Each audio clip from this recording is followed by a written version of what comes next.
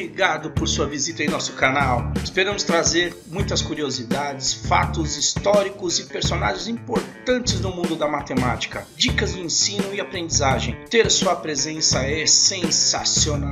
Por isso que eu peço que você deixe seu like e se inscreva em nosso canal. Vamos para o vídeo. Vamos para mais um exercício de apoio de cálculo 1 Univesp, exercício de apoio, esse exercício número 2. Beleza, galera? Vamos lá para tentar resolver isso aqui, explicar com algumas pessoas estão com dúvidas.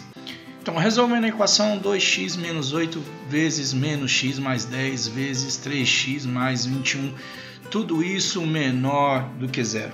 Então o que, que a gente faz? Para resolver essa equação aqui, a maneira mais tranquila da gente fazer é separar isso aqui em pequenas inequações. Então o que, que a gente separa? Vamos separar primeiro essa primeira opção, 2x menos 8, menor do que zero. Tranquilos? Então nós pegamos essa parte aqui e transformamos nessa inequação.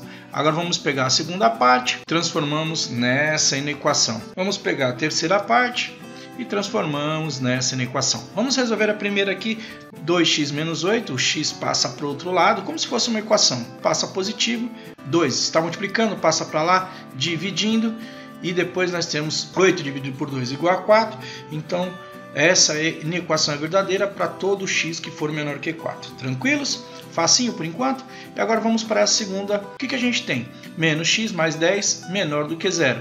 Eu quero saber quando isso vai ser verdadeiro. Então o que, que acontece? Nós temos aqui mais 10, passa para o outro lado, menos 10, 10 negativo. Ou você pode subtrair 10 desse lado, 10 desse lado, fica a critério de vocês. Quando nós temos na inequação no primeiro membro o sinal negativo, o que a gente faz? A gente tem que multiplicar tudo por menos 1 e inverter esse sinal aqui. Multiplicando tudo por menos 1, eu vou ter x, inverto sinal e vou ter o valor de 10. O que era negativo passou a ser positivo.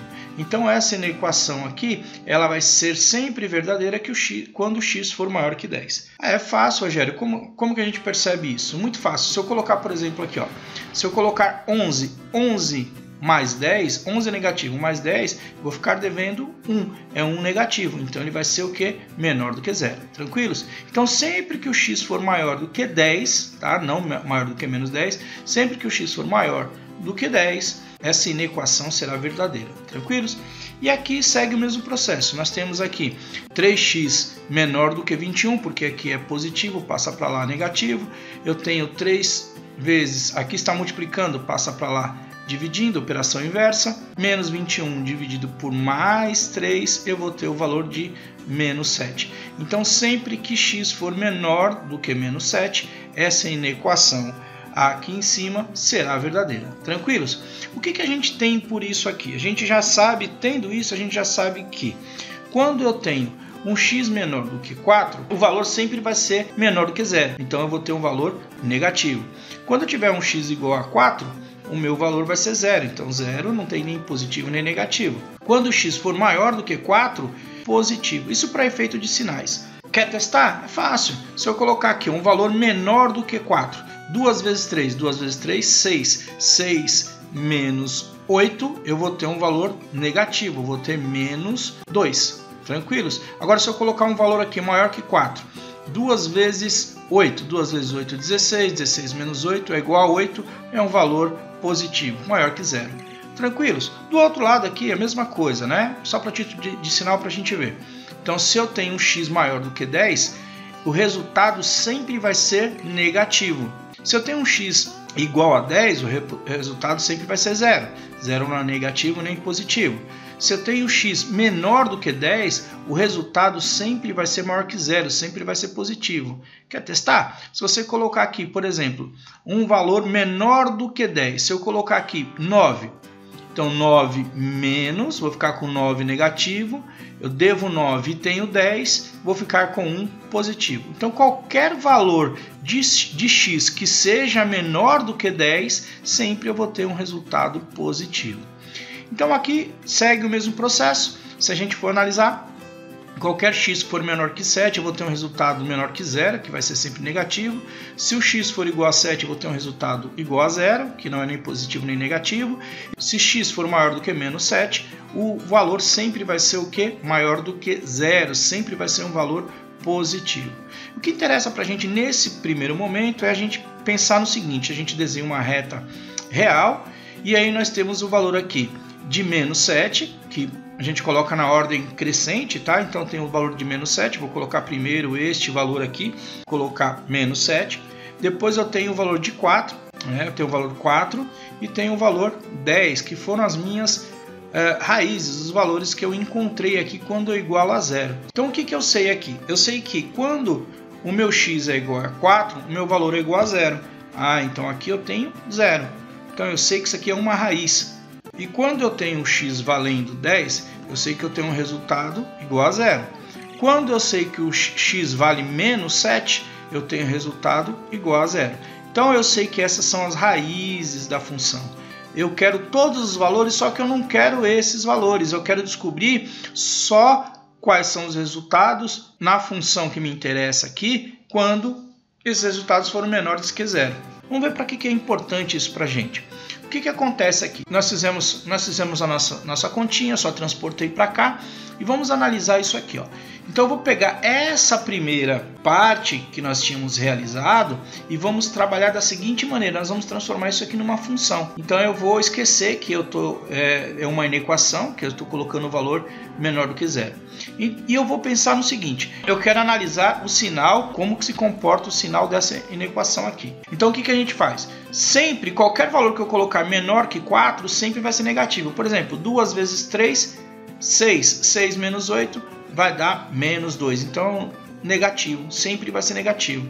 E qual, sempre que eu colocar um, um resultado maior do que 4, o resultado sempre vai ser positivo.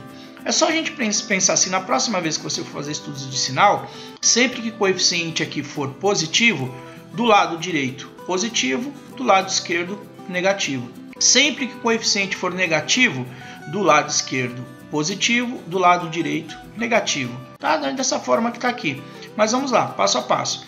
Aqui, ó, eu vou ter valores positivos sempre que o, o x for menor do que 10. Por exemplo, se for 9, se eu vou colocar aqui, vai ficar menos 9 mais 10. Se eu devo 9 e tenho 10, eu vou ter o valor de 1. Então, o resultado será o que?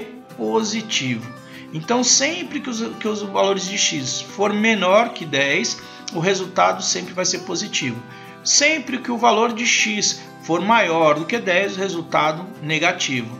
Então, observando aquela regrinha aqui, está valendo, tá vendo? Quando o coeficiente é, é negativo, né, o coeficiente de x aqui é negativo, o que, que você tem? Você tem números positivos para a esquerda, números negativos para a direita.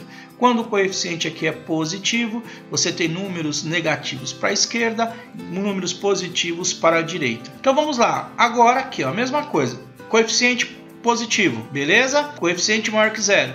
Do lado direito da raiz, ele sempre é positivo.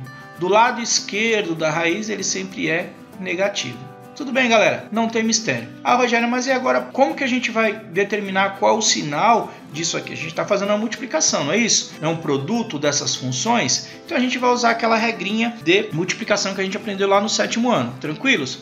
Então o que, que acontece? Ó, a gente vai analisar. Eu vou fazer algumas linhas imaginárias e a gente vai estar tá analisando cada uma das funções. Até essa parte é negativo, negativo vezes positivo, vai dar o que? Negativo. Negativo vezes negativo, o resultado aqui é positivo. Tranquilo? Olha que legal, que bonitinho. Agora vamos para o outro lado, galera. O que, que a gente tem aqui do outro lado? Ó, nós temos negativo vezes positivo. Vai dar o que? Negativo. Negativo vezes positivo, eu vou ter o resultado de negativo. Tranquilos? Positivo vezes positivo, positivo. Positivo vezes positivo, positivo. Tranquilos? Vamos ver no finalzinho aqui, ó. Eu tenho positivo vezes negativo. Isso dá o quê? Negativo. Tranquilos? Mas aí eu tenho negativo vezes positivo. O que, que vai dar? Negativo. Tranquilos? Então o sinal dessa função a gente trabalha assim. Antes do menos 7 é positivo, entre o menos 7 e o 4 sem pegar eles. Galera, sem pegar eles, esse sinal é o que? Negativo. E aqui, do 4 até o 10, esse intervalo é positivo. Acima de 10 até o infinito, esse resultado é negativo. Tranquilos? Para nós terminarmos aqui nossa explicação, como que a gente resolve isso aqui? Nós descobrimos que as raízes dessa inequação, uma inequação terceiro grau, eu tenho as raízes menos 7, eu tenho a raiz 4 e tenho a raiz 10. Descobrimos que antes do menos 7, nós temos o que? Para valores antes do menos 7, ou seja, menos 8, menos 9, menos 10, valores positivos. Depois do menos 7, nós temos valores negativos. Depois do 4 até chegar em 10, valores positivos. Depois de 10, valores negativos. Nós podemos determinar assim que a solução é todo x pertence aos reais, tal que o x deve estar entre menos 7 e 4. Né? O x tem que ser o que? Maior do que menos 7 e menor do que 4, que é o que interessa, né? o que eu quero para ver o que, que é negativo, qual o valor menor que zero. Então, o valor menor que zero, para o valor ser menor que zero, o x tem que ser tem que ser maior do que menos 7 e tem que ser menor do que 4. Tudo bem? Ou então, para o valor ser negativo, o que, que eu tenho que ter? Qualquer valor de x que seja maior que 10 vai dar o intervalo que eu quero, que é o intervalo negativo. Né? Ele quer o quê? Os valores sempre menores do que zero. Tranquilos? Ou eu posso também determinar que a solução é o que? Vai do intervalo entre menos 7 e 4, sem pegar eles, bolinha aberta, união com 10, né? 10, entre 10 e infinito. Então, sem pegar o 10, acima de 10, tudo que for maior que 10 até o infinito, eu tenho os valores que me satisfa que satisfazem essa equação, que são valores menores que zero, são valores negativos. Tranquilos, galera? Tendo dúvidas assim, pergunte ao professor Rogério Joaquim. Te vejo nas aulas. Um abraço!